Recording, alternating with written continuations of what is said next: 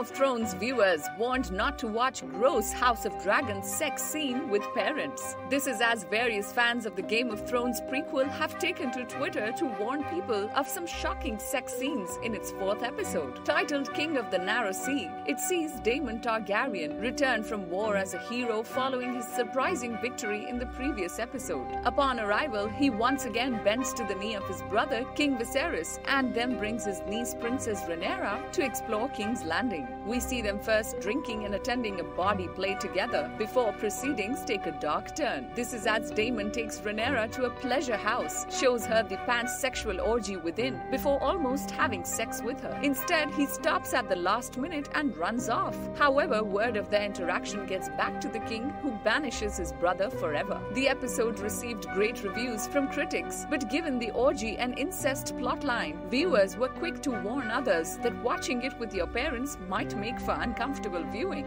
One Twitter user wrote, Do not recommend watching House of the Dragon episode 4 with your parents, partner, and teenage brother. Learn from my mistakes. A lot of comments like these were shared from fans all over. So now you know you need to watch this alone. Share your feedback in our comment section below and don't forget to subscribe.